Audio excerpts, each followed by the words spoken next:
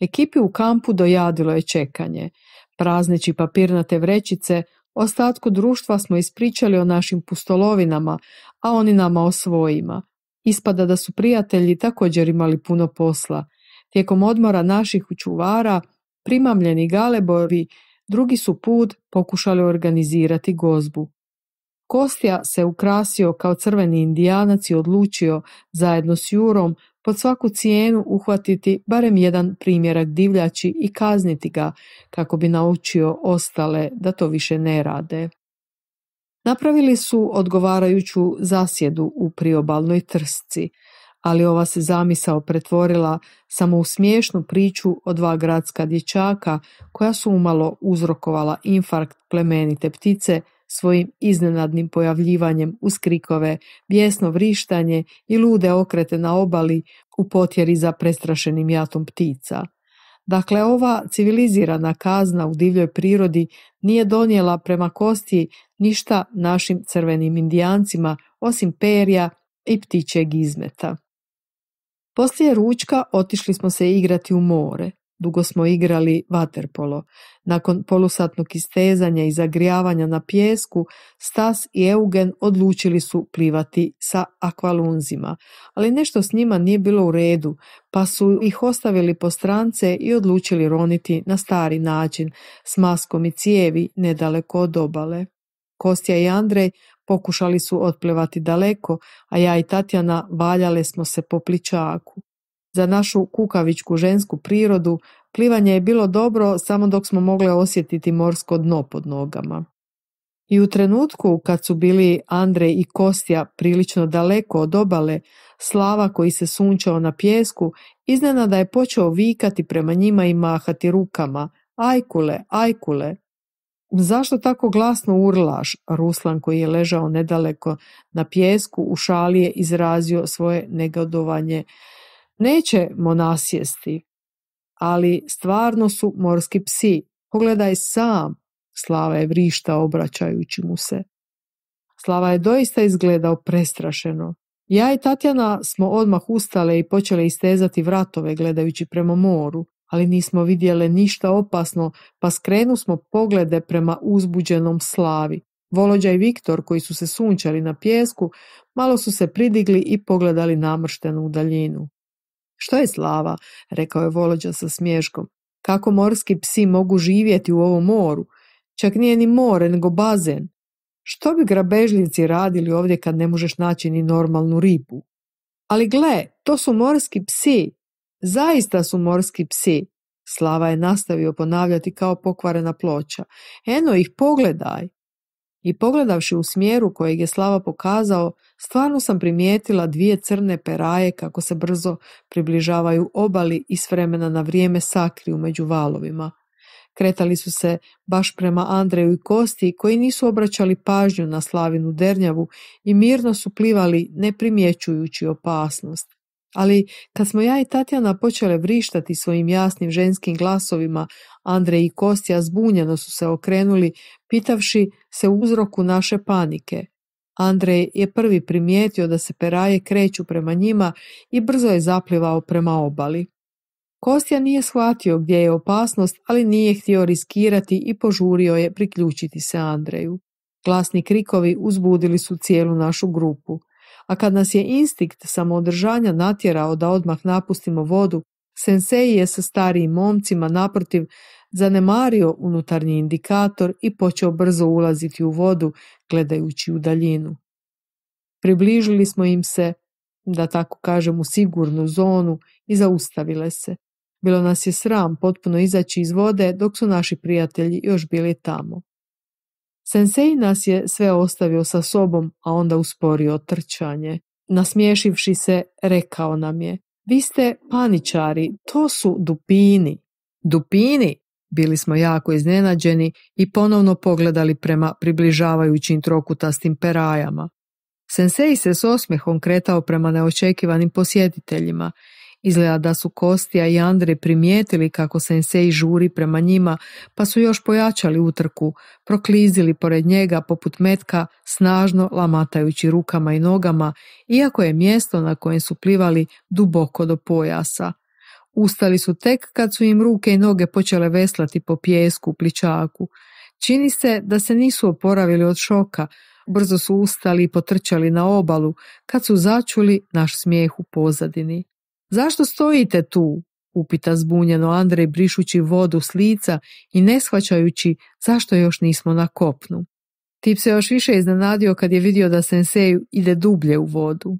Nismo jestivi, odgovorio je Eugen za sve nas, stavljajući masku za ronjenje. Imamo viši faktor smijeha, to nas čini neprobavljivima. Ovakvi poput nas mogu uzrokovati zapetljanje crijeva, to je kao da progutaš morskog ježa i patiš od grčeva cijeli dan. Nismo ni mi jestivi, Andrej je došao k sebi prilazeći dečkima. Pogledaj kako smo košćati, pokazao je prema drhtajućem kosti.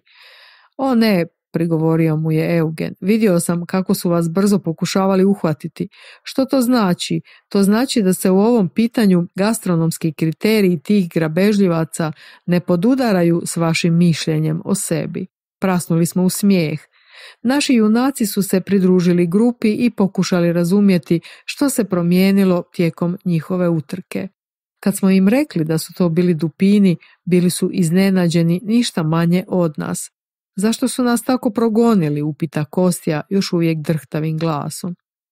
A zašto ste vi bježali od njih, nasmijani Viktor uzvrati pitanjem.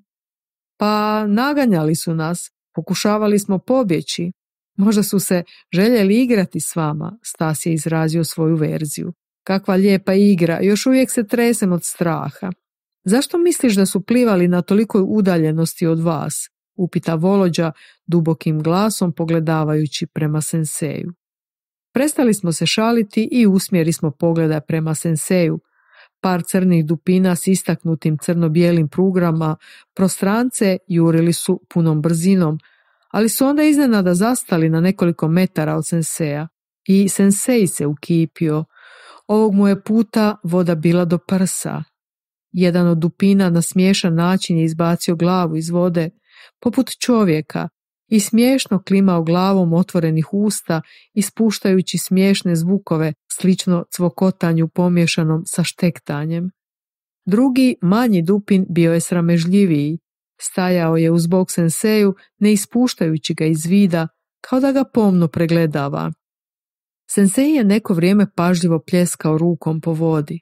Prvi dupin prestao je ispuštati zvukove i sa zanimanjem se nagnuo njuškom. Činilo se da mu se sviđa jer je zaronio i izronio na površinu, gotovo na udaljenost ruke od senseja. Ovaj je polako ispružio ruku i pomilovao čelo životinje. Dupin mu je doplivao još bliže i postavio njušku za milovanje. Ali umjesto toga sensei je lagano rukom izvukao malo vode i razigrano poprskao životinju. Dupin je radosno blebetao i okrenuo rep zaronivši pod vodu. Nakon nekoliko trenutaka iznenada se rep pojavio iza sensea, glasno udarao po vodi, zapljusnuvši ga poput fontane, tada su se počeli valjati, stalno izmjenjujući ulogu hvatača. Drugi dupin brzo im se pridružio. Gledajući takvu zabavu na vodi, izgubili smo strah pred tim prijateljskim životinjama. Počeli smo prilaziti bliže senseju, želeći sudjelovati u igri.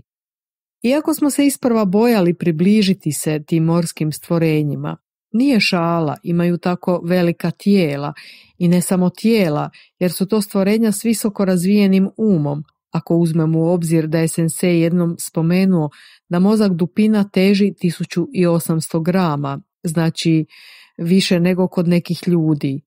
Slični su izvan zemaljcima koji su istodobno s nama na našem planetu, zar ne?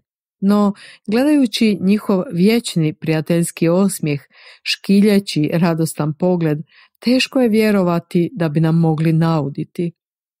Dupini su se vrtjeli oko nas, iako su bili predstavnici divlje prirode, može čudno izgledati, ali nisu se nas bojali. Čak su dozvoljavali da ih mazimo, ali samo dok je sensei bio u blizini. Ako su nam dopuštali da ih dodirujemo samo tijekom stanki u našoj igri lovice, senseji su rado dopuštali da ih češka po trbuhu, naročito veći dupin. Usput, Nikolaj Andrejević bio je prvi od nas koji mu je primijetio oguljenu ranu na boku malo ispod glave. Bijaše to isto mjesto kao kod dupina kojeg smo jutros sahranili u moru. O, je li to naš stari prijatelj? Nikolaj Andrejević pogleda Senseja zadivljeno i začuđeno nakon što je otkrio njegov identitet. Sensej se samo zagonetno nasmiješio. Ne, to je drugi dupin, rekao je Ruslan okljevajući. Može li rana zacijeliti tako brzo? Tko zna? Psihoterapeut slegne ramenima i s lukavim osmijehom pogleda senseja. Ovo je posebno mjesto. Onaj isto ima oguljeni ožiljak na tom mjestu. Samo pogledaj. Na gornjem dijelu tijela dupina su bile lijepo vidljive bijele pruge, kao da su ga ostavili golemi zubi u obliku češlja.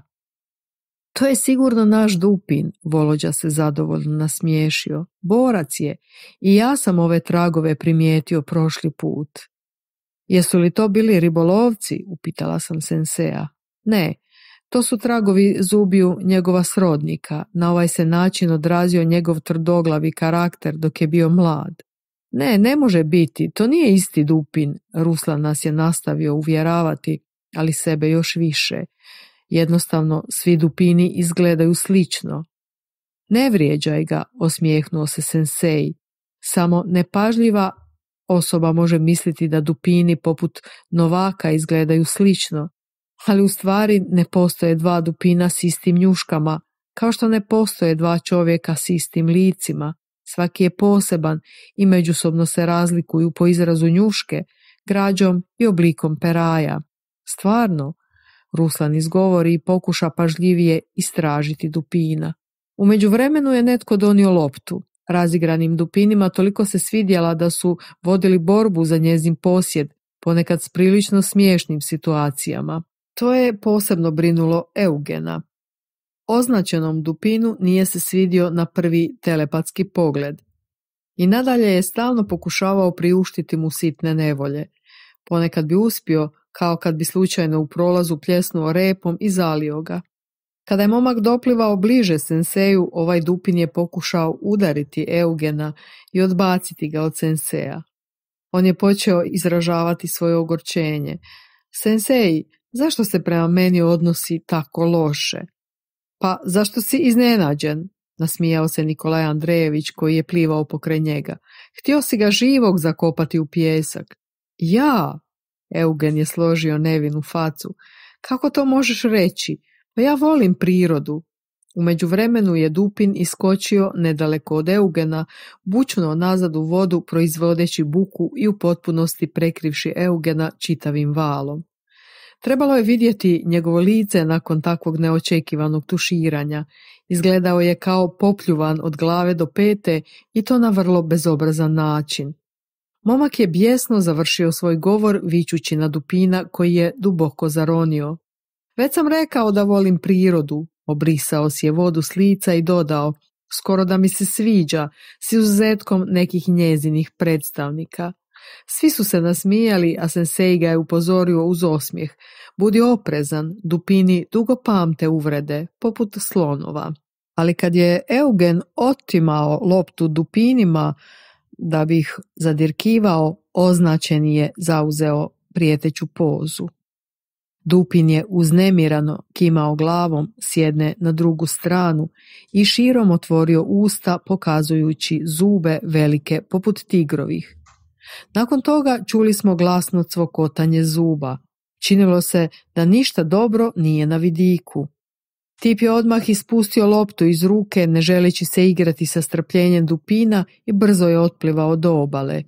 Slijedila ga je cijela kakofonija zvukova, vrlo slična Eugenovom zlonamjernom smijehu, kojeg je neoprezno ispustio u prisustvu dupina. Nismo mogli vjerovati da čujemo tako smiješan smijeh dupina. Sensei nam je objasnio da su dupini u stanju oponašati različite zvukove, i zaista, dok smo plivali skupa s njima, čuli smo puno, od zvuka sličnog škripanju vrata do zvukova nalik ljudskom smijehu, pa čak i zujanju komaraca.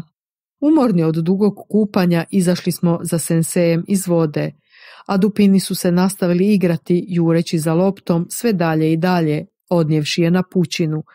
Odustali smo od nje i odlučili im ostaviti mali poklon za sjećanje, pa su je odnijeli sa sobom na otvoreno more.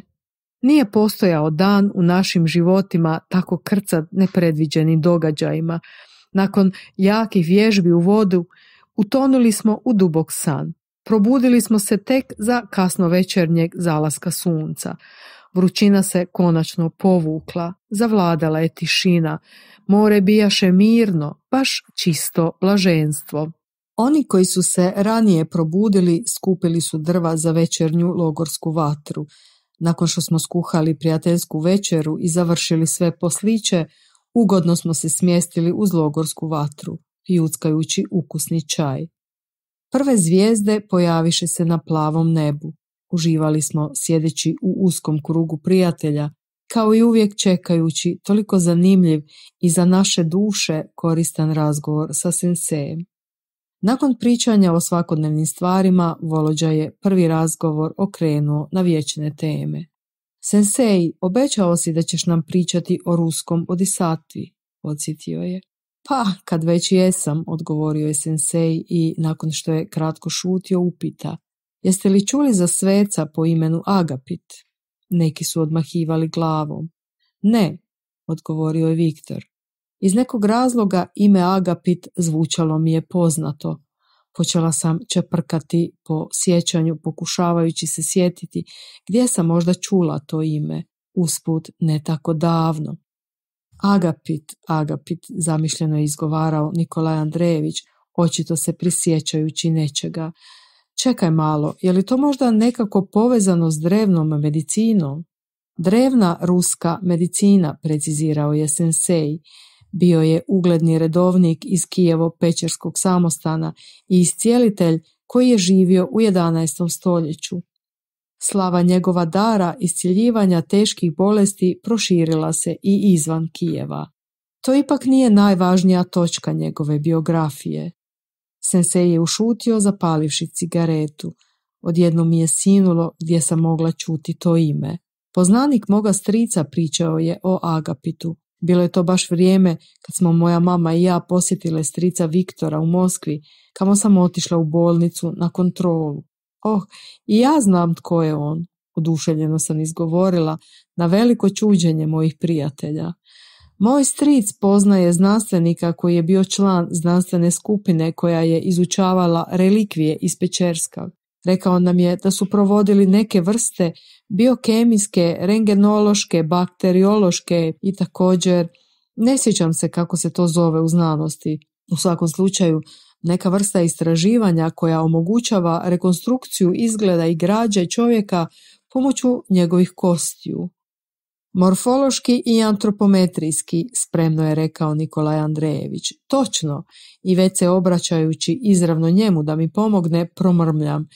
I ono kad se saznaju za bolesti, etiološki, da, tako je kimnuh.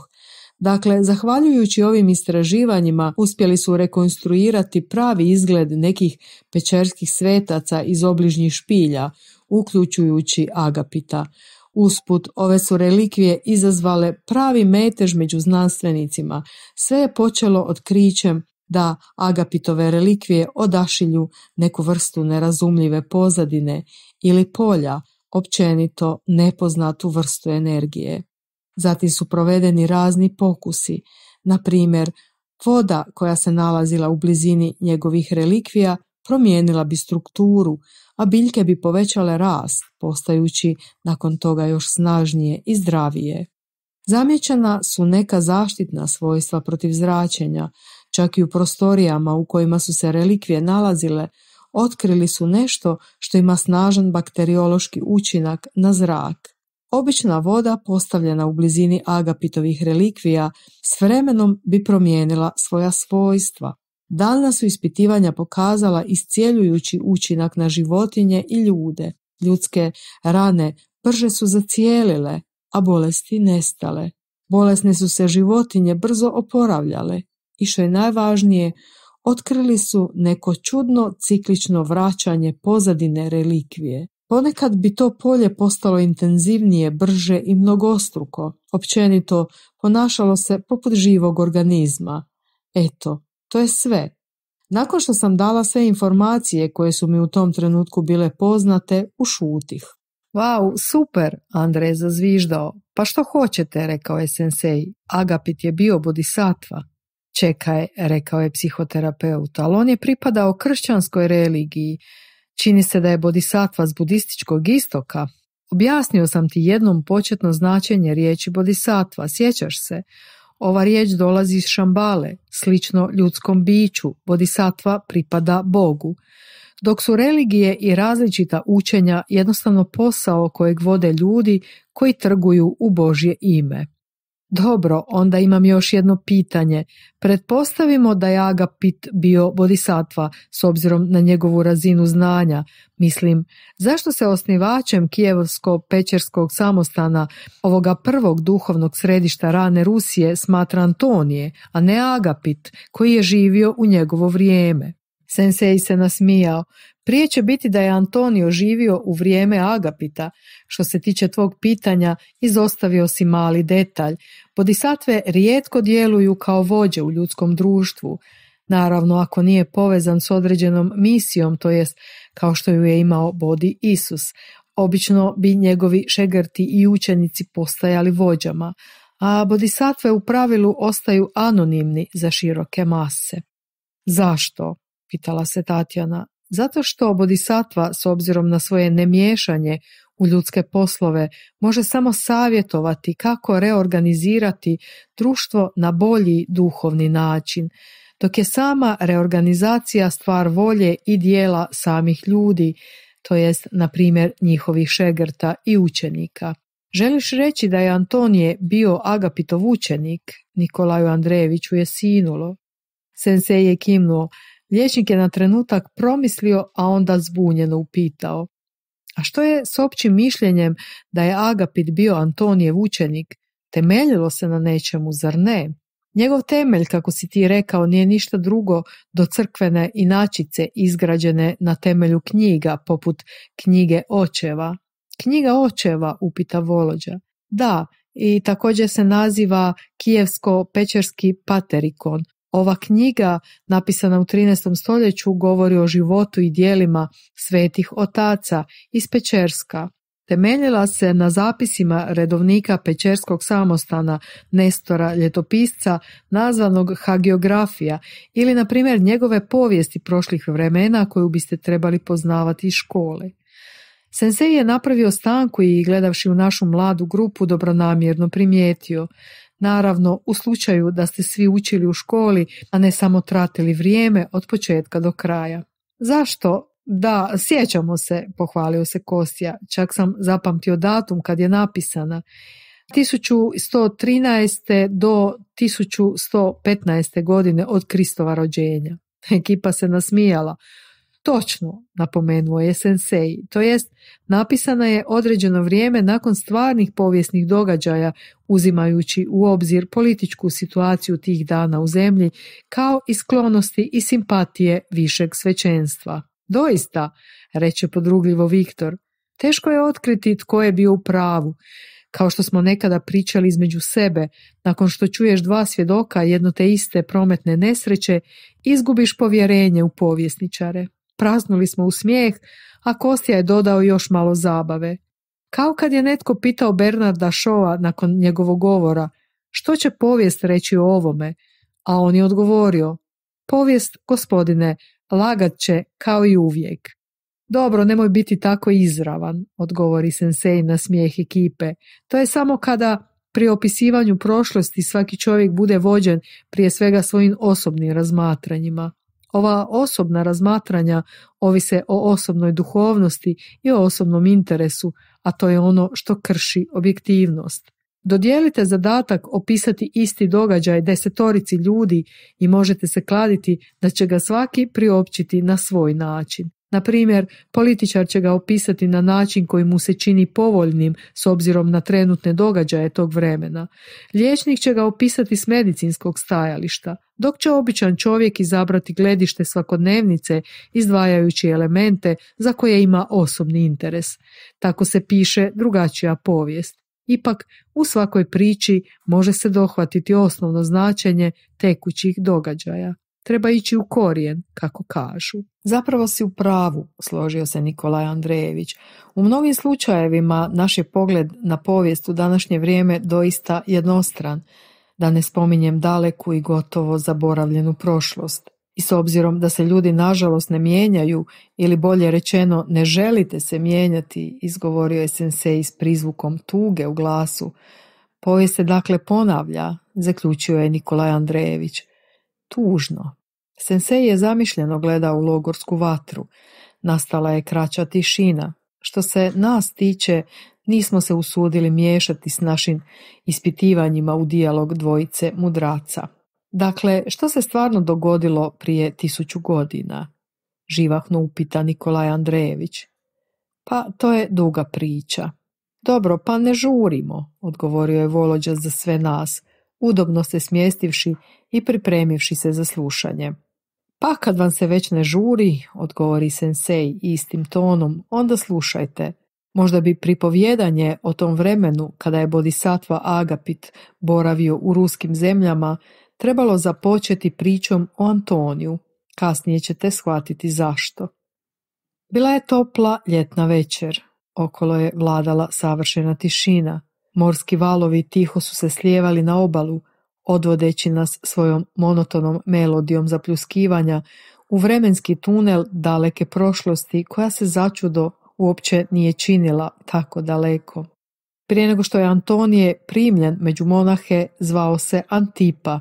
Rođen je u gradu Lajbahu u Černigivskoj oblasti 983. godine, pet godina prije pokrštavanja Rusije, u vremenima kada je Vladimir Svjatoslavić Veliki vladao u glavnom gradu Kijevu. Je li to slučajno onaj kojeg su u ruskim narodnim baladama zvali sjajno sunce, upita Kostja. Da, to je on, unuk velike princeze Olge i velikog princa Igora, precizirao je sensei i nastavio. Antipina mladost bijaše u kaotičnim vremenima. Upravo tada nastala je staroruska država, a istočnoslavenska plemena su se ujedinila. Ratovi sa susjednim zemljama vodili su se na jugu i na zapadu. Osim toga, unutarnje napetosti suprotstavljanja između različitih religija izazvali su dodatne uznemirenosti.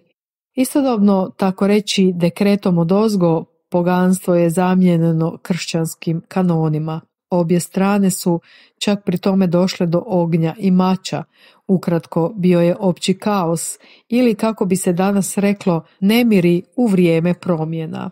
Pa, kako kažu, najgorem neprijatelju ne želiš da bude rođen u vremenu promjena, rekao je Volođa dubokim glasom. Točno, iako je Antipa nekako uspio, kao i svi mi, tiho je dodao Viktor. Dakle, općenito Antipina je mladost bila prilično živahna. Ono što se događalo oko njega u velikoj mjeri omogućilo mu je da uloži napore u sređivanje svega, ne samo izvana, nego da ponajprije dovede u red samoga sebe. I ne samo da se dovede u red, već da se promišljeno dovede u red. Promišljeno. Puno ljudi je u to doba vjerovalo u Boga i osjećalo je da postoji Bog. Ali kako to da je bila tolika nesloga? Zašto je Bog dopustio takvo zlo? Odvijala se neka vrsta sukoba, nepotrebno krvoproliće. Narod je patio, njihova djeca su patila, bolesti, siromaštvo i smrt bujali su. Antipa je imao priliku čuti misionare raznih religija. Svi su podučavali vjeru u vlastitog Boga, štovanje njega i molitvu njemu. Paradoks je bio u tome što je i njima samima nedostajala ta čista vjera o kojoj su govorili i nisu se držali onoga što su tražili od drugih. Nije Antipa vjerovao onima koji su došli s mačem propovijedati Boga, a s druge strane mučile su ga misli, zašto ako postoji Bog, ima toliko tuge, toliko je krvi besmisleno proliveno okolo? Zašto Bog dopušta tako veliku patnju? Bilo je puno pitanja, ali kao i obično u bujici misli nije bilo nijednog razumnog odgovora. Tek je jednom bio zaintrigiran pričom koju je čuo od stranca koji je prenoćio kod njega. Taj stranac mu je pričao o životu Isusa Krista. Antipa je bio zatečen jer ispostavilo se da su ljudi ubili čak i samoga sina Božijeg. Zašto svemogući Bog nije zaustavio te ljude?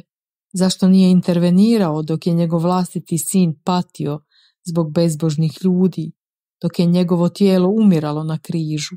Ali kad je Antipa shvatio da je poanta u ljudskom izboru, u izboru svakog pojedinca pred licem Božijim, shvatio je da razlog neprestanog kaosa nije u Bogu, već u samim ljudima, uključujući i njega. Ova je misao tako radikalno promijenila njegove osobne poglede da je počeo drugačije gledati ne samo na prastare milenijske događaje, nego i na sadašnjost. Iskreno se zaljubio u Isusa Krista jer mu je bio sličan po patnjama. Doista, Antipa se iskreno i stvarno zaljubio u Boga i počeo razmišljati o tome tko je on pred njegovim licem. Antipa je također bio zadivljen činjenicom da je bilo ljudi koji su se istinski posvetili Bogu. Prvi put je od neznanca čuo za sveto mjesto na planini Atos, smještenoj na grčkom tlu. Saznao je da tamo žive drugačiji ljudi, ne kao ostali, da su napustili ovozemaljski život i osamili se radi Boga, radi molitve njemu za spasenje. Oni nose crnu odjeću i daju tri zavjeta, poslušnosti, celibata i siromaštva, a ti ljudi zovu se redovnici. Dakle, Antipa je osjetio potrebu da postane redovnik i da se neprekidno moli Bogu. Međutim, nije ni znao kako doći na tu planinu u stranoj zemlji Grčkoj, niti kako se pravilno moliti Bogu da bi ga ovaj čuo. Tada se Antipa počeo obraćati Bogu svojim jednostavnim, iskrenim riječima, moleći ga da mu da mudrog mentora koji bi ga naučio istinskoj molitvi, a koje bi vodile ka spasenju. Imao je tako snažnu želju, tako je uporno razmišljao o tome, tako je vjerno tražio to od Boga tijekom više mjeseci, čak i godina, da bi se na kraju dogodilo sljedeće. To se dogodilo zimi u zoru 12. veljače po starom julijanskom kalendaru ili 25. veljače po novom gregorijanskom kalendaru koji se koristi danas. Te noći opet nije mogao zaspati razmišljajući o Bogu. Toliko se udubio u svoje misli da mu se počeo obraćati kao ljubljeni sin vlastitom ocu, moleći ga kako god je mogao molitvom koja spašava dušu. Intuitivno je osjećao da se Boga može tražiti samo duhovne stvari, a ne prolazne, zemaljske, a tražio je iskreno, s čistom vjerom u duši. Kad se Antipa opet udubio u svoje mentalno obraćanje njemu, neprirodna toplina iznenada mu se razbuktala u prsima. Činilo se da se vrelina pojačava svake sekunde. U konačnici je postala toliko intenzivna, gotovo nepodnošljiva. Antipa se na brzinu odjenuo i izašao napolje. Bilo je malo bolje vani na hladnoći. Snježilo je. Vjetar bijaše hladan i prodoran. Antipa je odlučio potražiti zaklon u obližnjem plastu sjena. Gledajući divljajuće elemente iz zaklona, doživljavajući veliku vrućinu u prsima, Antipa se molio Bogu iskrenije. Toliko je utonuo u molitvu da je zaboravio na vremenske prilike kao i na mjesto i vrijeme u kojem se nalazio. Izvanredan osjećaj blizine Boga prostrujio je njime. Bijaše to blizina vrlo srodnog bića, bliskog srcu. Zbog toga mu je duša bila zagrijana i osjećala je olakšanje. I već je bilo svanulo, vjetar je iznenada zamro. Snijeg je prestao padati. Prvo svjetlo dopiralo je kroz olovne oblake na obzoru, oživljavajući zasljepljujući bijeli prostor razigranog okoliša. Tada je Antipa ugledao u blizini neobičnog starijeg muškarca koji je nosio crnu odjeću. Sivkasta, plavo smeđa kosa i snježno bijela brada okruživale su mu neobično lice. Jedva primjetan ugodan osmijeh bijaše mu na usnama, a njegove izvanredne oči, koje kao da gledaju pravo u čovjekovu dušu, zračile su dubokom zabrinutošću i bezuvjetnom dobrotom. Starac se primicao, a noge su mu neprimjetno i tiho koračale preko snijega. Bilo je čudno što je Antipa mogao čuti njegov ljubazan govor, njegov slatkorječiv melodičan glas, iako starac nije micao usnama. Zaustavio se vrlo blizu, a Antipa je mogao osjetiti mirisnu, nježnu aromu koja je zračila iz njega. Odjednom su svijetle kuglice plavkasto bijele boje polagano izbijale iz starčevih prsa. Bile su izvanredne čistoće i sjaja, pri čemu nisu zasljepljivale ni iritirale oči. Upravo suprotno, privlačile su pogled svojim mekanim sjajem i očaravajućom igrom plavih nijansi. Sjajno zlatna slova počeše se pojavljivati u ovom protoku čiste svjetlosti, pretvarajući se u tekst. Antipa je prije razumio nego vidio što bijaše napisano, jer mu je u tom trenutku melodičan glas starijeg čovjeka zazvonio u glavi, izgovarajući riječi molitve za spasenje duše. Moj istinski oče, sve svoje nade polažem samo u tebe, jednoga, i molim tebe, gospode, samo za spas duše svoje. Neka volja tvoja sveta, to je bio trenutak kada se Antipa osjetio tako olakšano i spokojno, kao da je kroz ovu molitvu sam Bog usmjerio pažnju na svoje dijete i pružio mu svoju ruku pomoći. Nakon objave molitve starac ga je usmjerio na putovanje u Carigrad. Carigrad, plaho je pitao Slava, vjerojatno ne želeći prekinuti senseja s jedne strane, ali istovremeno goreći od radoznalosti. Gdje je to? Dakle, danas je to Istanbul u Turskoj, smješten s obje strane Bospora između Europe i Azije, koji spaja crno i mramorno more. Sensei je dao potpuni odgovor, vjerojatno da ne bude više pitanja i zemljopisa. Izgleda da ga je poslao na dalek put, ubacio se Kostja, sa što su mu trebali Turci. Evo ga još jedan. Andrej ga je utišao nezadovoljan kostjenim miješanjem i prekidanjem tako fascinantne priče. Rečeno ti je da je u to vrijeme bio Carigrad. Aha, a je li tamo tada bilo Rusa? Kostja nije stao ispitivati, nastojeći doći do korijena. Ne, jednostavno su Rusi tih dana tako zvali Konstantinopol, glavni grad Bizanskog carstva, strpljivo je objasnio Sensei. Je li slučajno taj grad nazvan po caru Konstantinu, osnivaču kršćanstva? Pitao je Kostja. Upravo tako, po rimskom caru Konstantinu. Ali kad je Kostja htio zinuti za još jedno pitanje, Sensei ga je preduhitrio. Po rimskom caru je ovaj grad postao glavni grad rimskog carstva 330. godine, a zatim i Bizanskog carstva od 395. do 1453. godine. A općenito je osovan 659. godine prije Krista i bio je nazvan Bizantijum. Dobivši tako čist odgovor, Kostja se utišao, pogotovo zato što ga je Andrej lagano trknuo po strance, pružajući mu vrlo jasan signal da umukne. U međuvremenu Sensei je nastavio pričati svoju priču. Tada mu je starac naredio da otputuje u Carigrad, a odatle na Svetu Goru, gdje bi mu Bog trebao pružiti priliku za upoznati onoga u kojem zaista stoluje Sveti Duh. I on će mu, poput svjetiljke, na putu do Boga biti. Nakon što je to izrekao, starac nestade. Vjetar se vratio, nebo se naoblačilo i opet je počelo snažno snježiti. Međutim, Antipa više nije obraćao pažnju na divljajuće elemente. Bio je sretan i odlučan ispuniti nalog starca, čije se ljubazno lice utisnulo u njegove osjećanje za cijeli život. Ta je vizija postala ključna za njegovu cjelokupnu dalnu sudbinu.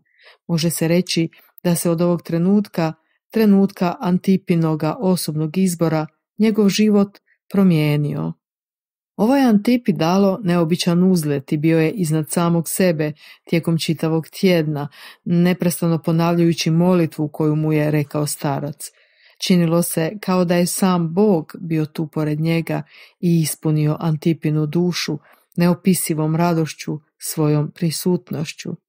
Tih se dana u Antipi probudio novi, nepobjedivi osjećaj prema Bogu. tada je prvi put zapravo shvatio što je istinska božanska ljubav. Taj osjećaj bio neusporediv s bilo kojim antipinim prijašnjim mislima o Bogu, naivnim usporedbama s ljudskim emocijama koje postoje među ljudima. Ovo je bilo nešto mnogo više, nešto što se ne može opisati ljudskim jezikom.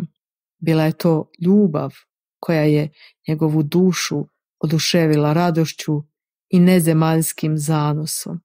Ali nakon točno sedam dana od nezaboravne vizije nestao je taj izvanredan osjećaj prisutnosti i ostala su samo ugodna sjećanja na taj istinski božanski osjećaj.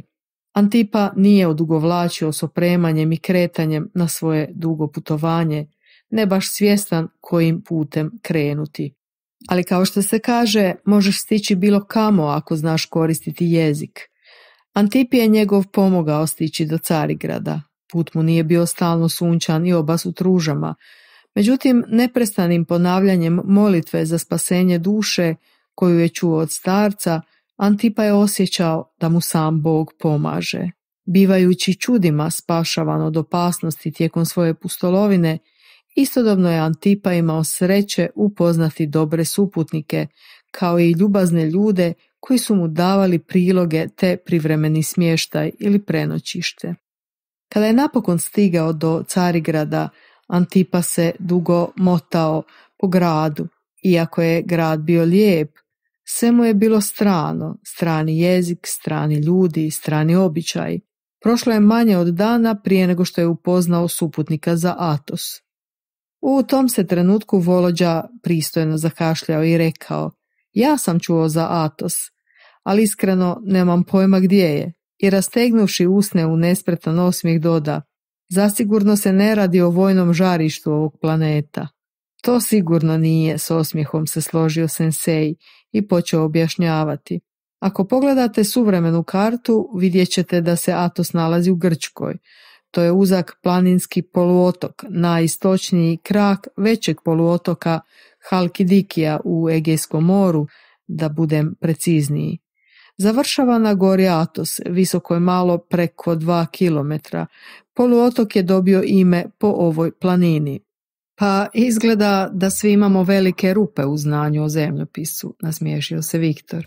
To je u redu, preskočimo ih budući da su velike, rekao je dobrodušno sensei i nastavio pripovjedanje.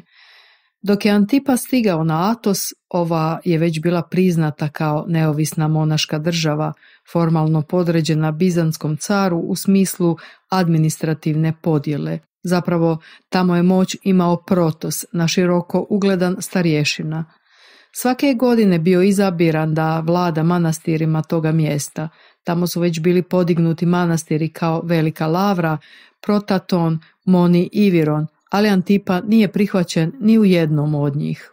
Dakle, sljedeći savjet starog redovnika, Antipa se nastanio u jednoj od špilja smještenih na zabačenom mjestu na jugozapadnom dijelu poluotoka – Važno je napomenuti da su te dvije godine koje je proveo u pećini unatoč oskudnoj hrani bile među njegovim najboljim godinama na Atosu. Bio je sretan što je napokon stigao tamo, kako mu je starac i rekao. Bio je sretan što je imao priliku moliti se Bogu molitvom koja mu je dana u viziji, živjeti zato i biti jedan na jedan s njim usred te veličanstvene prirode.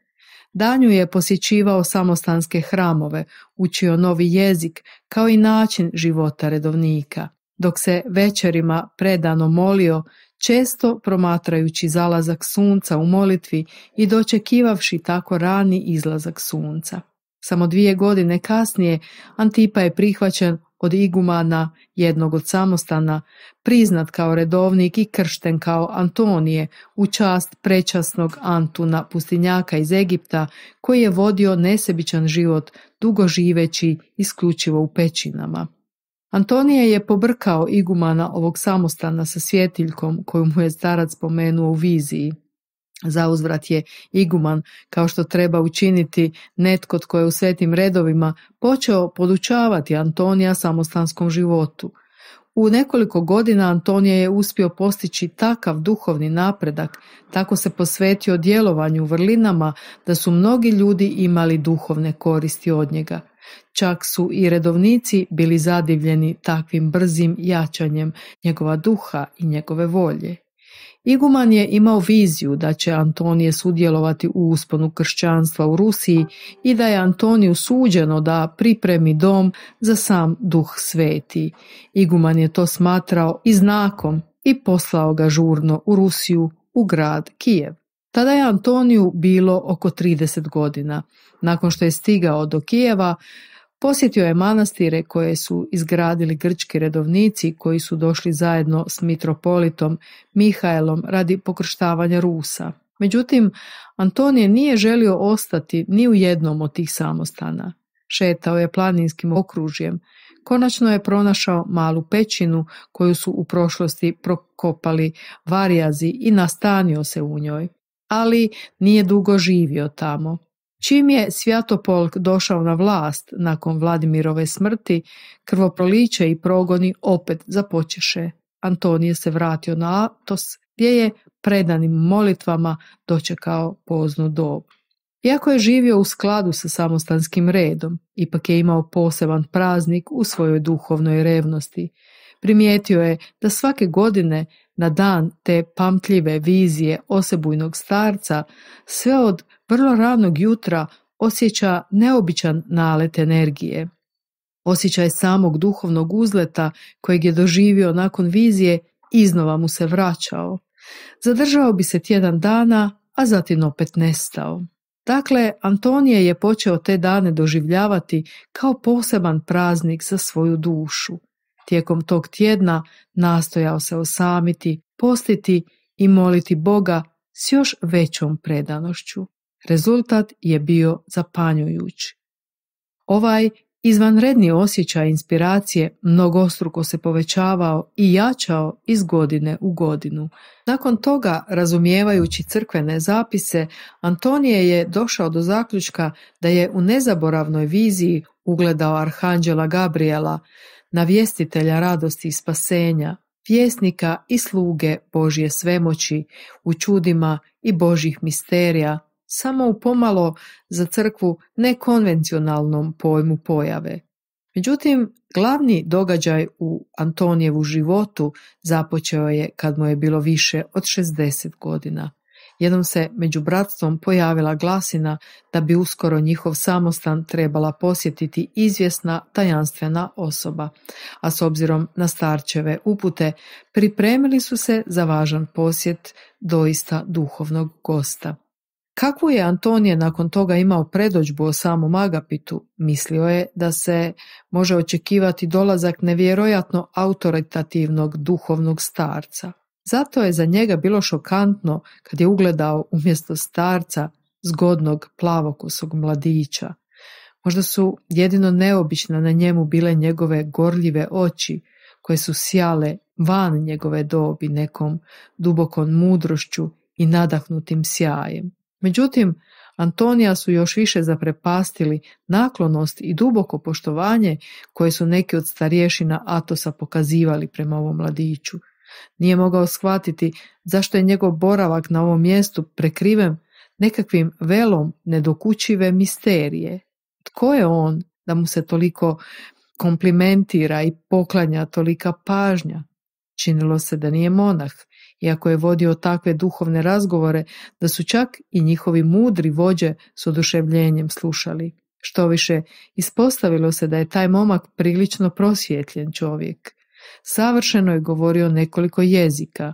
Osim toga, Antonije je bio ugodno iznenađen što je ovaj ugledni gost Rus po rođenju i kako se kasnije ispostavilo, dobro je poznavao Kijev i okolicu, a ime tog mladića bilo je Agapit. Čak i kad ga je Antonije osobno upoznao, nije se mogao naviknuti na jednostavan način na koji mu se njegov kolega obraćao, takva lakoća, unatoč svoj važnosti tog čovjeka za Atos i svom dubokom poštovanju kojeg su prema mladiću pokazivali starješine. Ali možda najupečatljivija bila je jednostavnost i lucidnost kojom se Agapit objašnjavao mudrosti svetog otaca.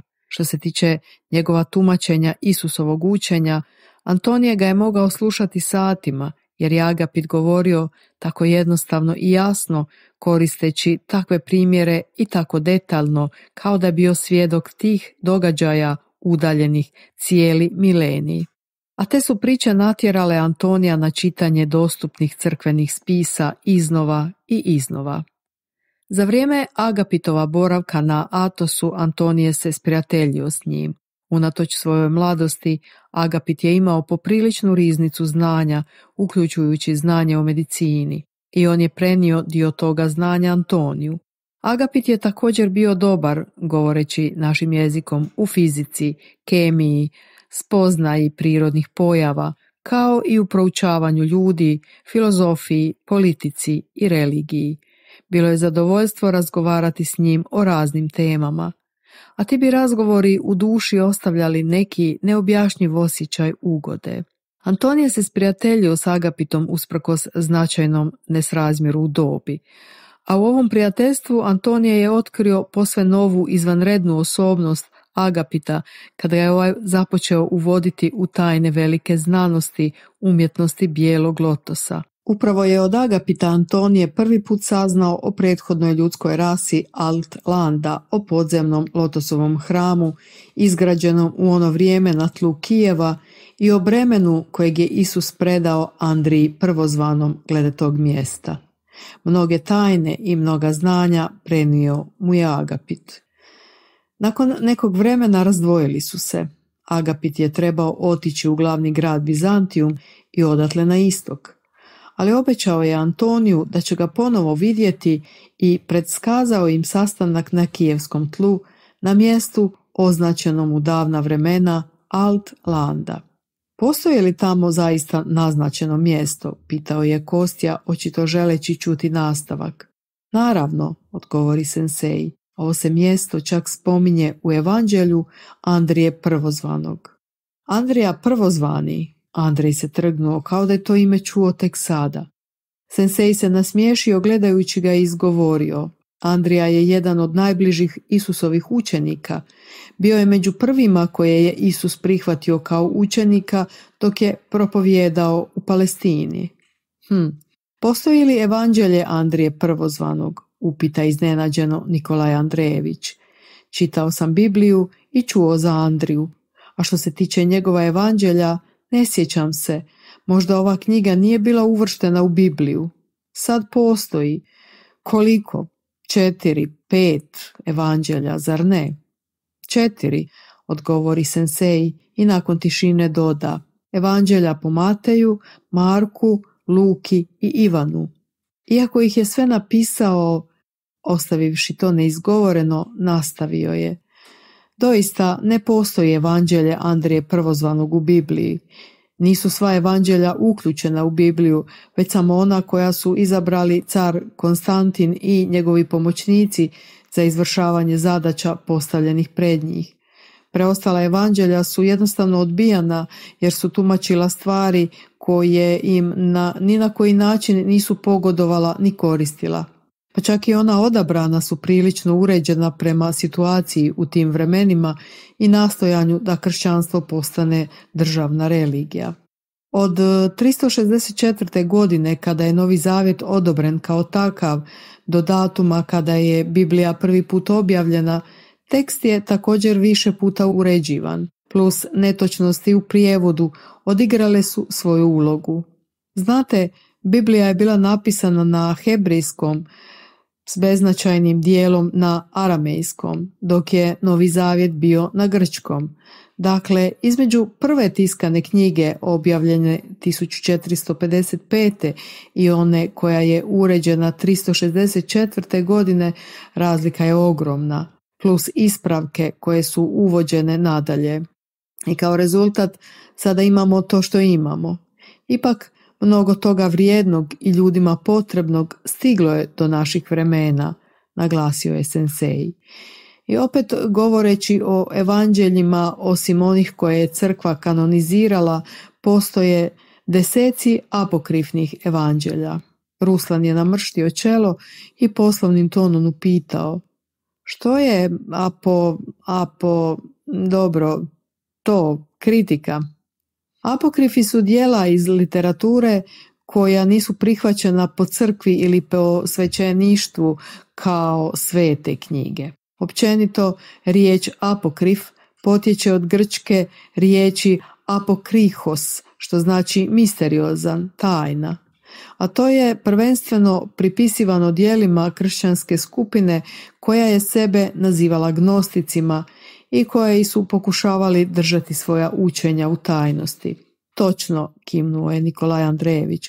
Usput pročitao sam da je čitava knjižnica spisa kršćanskih gnostika pronađena 1946. na jugu Egipta. Apsolutno točno, potvrdio je sensei. Među ostalim literalnim dijelima tamo su pronađeni evanđelja po Tomi, po Filipu, po istini, apokrifni Ivanov spis, a još ranije u Egiptu pronađeni su na papirusima sažeci nepoznatih evanđelja pisanih u različitim verzijama. Oh, kakvo iznenađenje za svećenike, smijao se Eugen. Ove knjižnice nisu prihvaćene, nego ih jednostavno nastavljaju pronalaziti. Takav stvarni problem sa svom tom drevnom šund literaturom. Senseji i momci su se nasmiješili. Problem je što su apokrifi podijeljeni na dopuštene i takozvane zabranjene. Zabranjene se zasigurno nastojalo eliminirati. Usput, prvi službeni popis zabranjenih knjiga izrađen je u istočnom rimskom carstvu u petom stoljeću. Prirodno, nakon takva vandalizma, potomstvo je ostalo samo s nekim naslovima knjiga i citatima navedeni u dijelima kršćanskih pisaca od drugog do četvrtog stoljeća koji su se prepirali preko tih knjiga, iako sve ide kao i obično, slegnu sensei ramenima. Da, to je tužno, promrmlja Nikolaj Andrejević, ali to je povijest čovječanstva. Zašto ih je trebalo uništiti? Knjiga je mogla trajati do današnjih dana. Neka potomci onda donesu nepristran sud. Vidite, stvar je u tome što, poče sensei objašnjavati, Neke od ovih knjiga su doista bile vrijedne jer su odražavale istinsko Isusovo učenje u originalnom obliku. Stoga ravnodušnim nije ostavljalo niti jednu ljudsku dušu, jer je pravo Isusovo učenje omogućavalo ljudima da postanu slobodni od svih strahova ovoga svijeta. Počeli su shvaćati da je tijelo smrtno, ta je duša besmrtna Ljudi su prestali biti taoci i robovi materijalnih svjetskih iluzija bivanja. Shvatili su da je samo Bog iznad njih. Shvatili su koliko je život kratak i koliko je privremeno stanje na koje je njihovo sadašnje tijelo ograničeno. Znali su da je ovaj život koliko god dug izgledao samo jedan trenutak u kojem im ostaje duša. Postali su svjesni da je bilo koja ovozemaljska vlast, bilo politička ili religijska organizacija ograničena samo na vlast nad tijelima. Ti vladari obožavaju vlastitog Boga kojem je dana moć na zemlji, na njenoj materiji, ali ne i nad dušom, jer duša pripada samo istinskom jedinom Bogu. I prvi sljedbenici Isusa koji su propovijedali njegovo učenje, ne religiju koja je stvorena kasnije, izgubili su strah od ovog života. Počeli su osjećati i shvaćati da im je Bog vrlo blizu, bliži i draži nego itko i da je On vječan. Takva prava sloboda ljudi strašno je uplašila vlastodržce, stoga oni počeše sakupljati i pomno revidirati pisane izvore o Isusovom učenju dostupne u to vrijeme. Mnogo toga je uništeno nakon odabira podataka potrebnih za stvaranje nove religije koju već propagiraju vlasti kako bi se reklo od vrha naniže.